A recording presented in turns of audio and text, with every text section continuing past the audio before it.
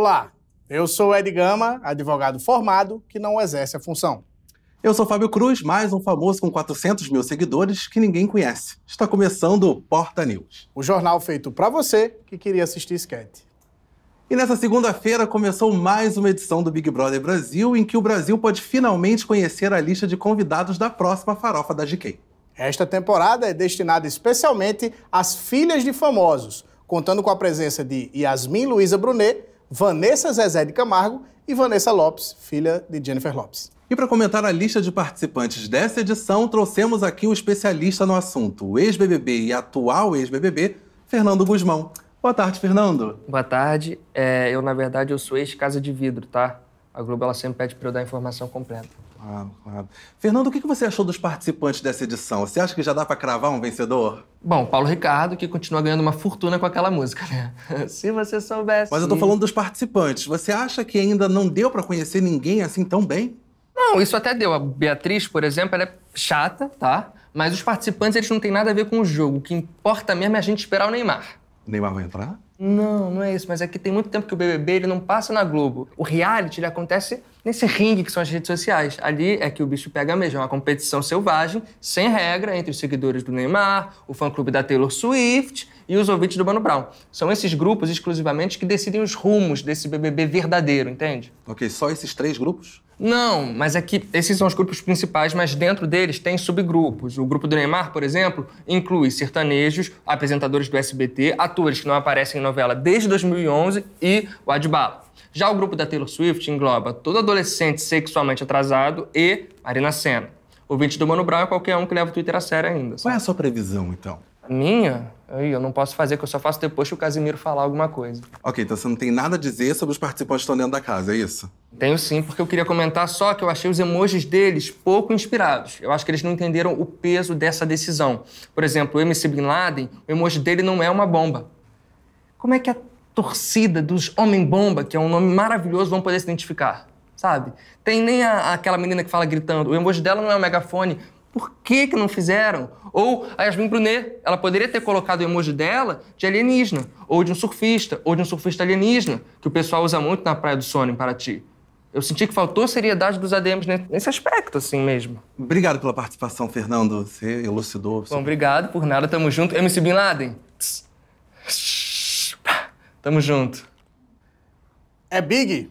Essa semana completou um ano dos atentados golpistas de 8 de janeiro o maior evento conservador desde a Marcha para Jesus e a premiere de lançamento do filme Tropa de Elite. Segundo o jornal e Folha, Folha de São Paulo, a PF vem cumprindo 46 mandatos judiciais para prender os financiadores da caravana dos tios do Zap para Brasília.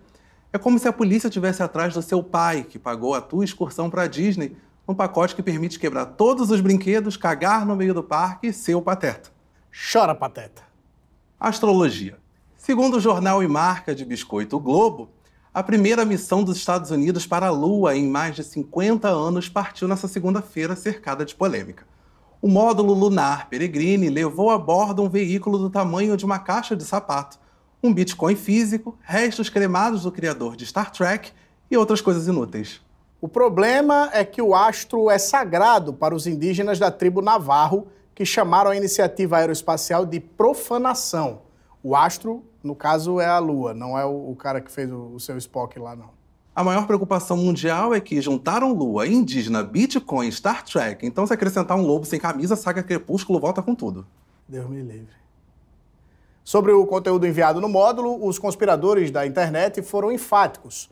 Ou a NASA virou uma espécie de rap que entrega em todo o universo, ou tacaram foda-se e começaram a jogar lixo na Lua. Se a segunda for verdadeira, será um pequeno lixo para o homem mas um grande aterro sanitário para a humanidade. E um detalhe: os seguidores de Olavo de Carvalho cogitaram mandar as cinzas do guru para a Lua, mas lembraram que, segundo suas crenças, não é possível chegar à Lua. GoPro. Após determinação do STF, PMs do Batalhão de Operações Especiais do Rio de Janeiro, o BOP, terão que usar câmeras acopladas ao uniforme.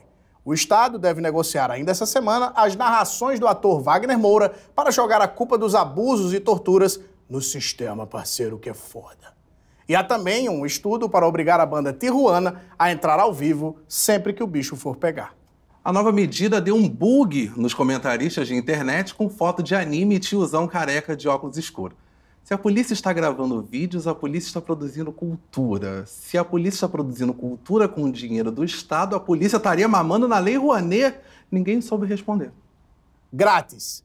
No mesmo dia em que a gigante Disney perdeu os direitos autorais sobre o seu personagem mais famoso, foi lançado o trailer de um filme de terror que mostra um assassino mascarado vestido como Mickey Mouse. Mas segundo a banda e roupa íntima Biquíni Cavadão, aqui embaixo as leis são diferentes. Aqui no Brasil, direito autoral é a cabeça do meu pau. Quando a gente lança o fofão, por exemplo, a gente lança o fofão infantil, o fofão de terror e o fofão da carreta furacão tudo ao mesmo tempo, com a mesma roupa, a mesma máscara e foda-se quem não gostou. De olho na oportunidade, rumores indicam que a produtora brasileira Brasileirinhas também planeja aproveitar do rato velho. Segundo meu primo em fase de crescimento, algumas produções já estão sendo desenvolvidas como Emanuele no Epcot Center, Mickey Brasino, o rato da galera, Fantasia, sexual, Mickey, encanador visita Puto Donald e Misca Musca Gangbang. Tripa Seca, Exposição em homenagem aos 40 anos dos seriados Chaves e Chapolin é inaugurada no Miss Experience, em São Paulo, e reproduz os cenários da vila, a casa do seu Madruga e a sala da Bruxa do 71. Ao que parece, as 438 milhões de reprises do SBT não foram suficientes para todo mundo ficar de saco cheio. Big Xande, dois apresentadores de podcast neonazistas são condenados a 7 e 8 anos de prisão no Reino Unido. Ah, se a moda pega!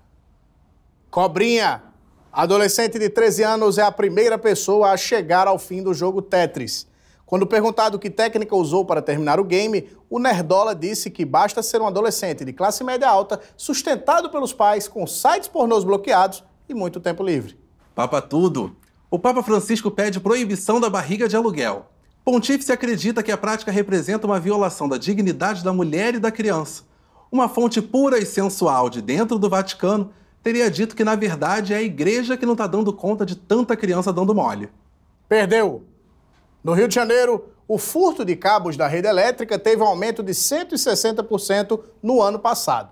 Segundo o levantamento da própria Light, com o material roubado seria possível dar quatro voltas na orla de Copacabana, o que equivale a um seu hélio padrão, caminhando ali de manhã, parando para comentar uma obra ou reclamar do Vasco. Seria como se seu hélio sozinho roubasse toda a fiação de Copacabana três vezes por dia e fizesse amizade ali no meio do caminho. Vai para casa, seu Hélio. Desespero. Passou mais um ano e com ele o peso de todas as promessas que você sabe que você não vai cumprir e a ressaca moral por discutir política com seu tio Reaça, enquanto você aproveitou o arroz parbolizado cheio de passas que sua tia também Reaça fez com muito amor. É também a época de lidar com todos os gastos não programados das festas. Por isso, chamamos nossa especialista em finanças para nos dar algumas dicas, a Nath Gastanças. Bom dia, Nath. Bom dia, bom dia. Olha, Nath, já vamos conversar com aquela. Qual a melhor estratégia para quem não quer gastar mais do que devia? Gastar tudo. Como assim gastar tudo?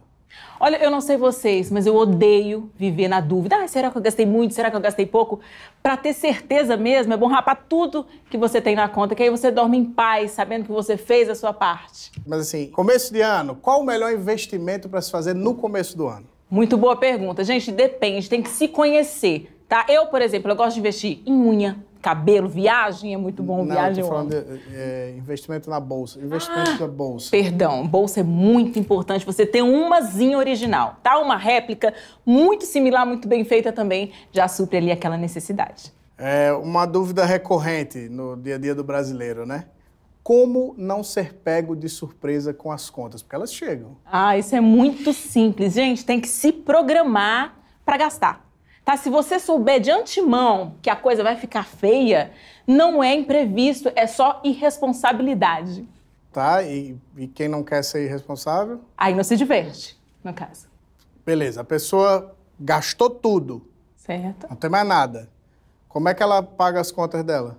Não, eu não tô falando de pagar conta. Eu tô falando de gastar. Tá? Para pagar a conta, eu não sei, vende trufa, faz alguma coisa, sei lá. Ô, Nath, porra, tu não tá ligada, né? Dá uma olhada ali, ó.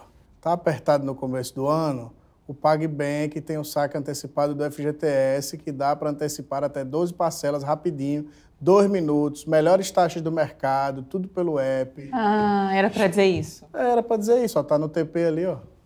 Ok, já disse. Muito obrigado. E vamos falar de coisa boa? Tá na hora de descobrir quais celebridades estão com a agenda disponível para trabalhos no quadro Quem Foi à Praia? Essa semana contamos com a presença da irmã de Gabigol, Giovanna Lancelotti com seu bumbum desenhado e Bela Campos com o abdômen trincado e destacando a beleza natural em fotos lindíssimas. Semana movimentada para esse pessoal, hein? Verdade. O Porta News está terminando. Fique agora com algum influenciador engraçadinho falando de BBB, tentando cavar um contrato merda na edição do ano que vem. Bom dia. Tá vendo? Qual tá sendo para quem não for de petição chegou? Entendeu? Mas tá achando. Qual tá com Pablo? Acho boa dia.